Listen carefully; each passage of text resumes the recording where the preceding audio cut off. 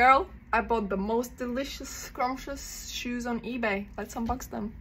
They are vintage brand, I always go for crazy money. Luichiny. Before I open the box, I'm just gonna mention that I bought them in the auction section, like I, I was the only bidder, and I actually can't believe that I was the only one. Ah, I'm so ready.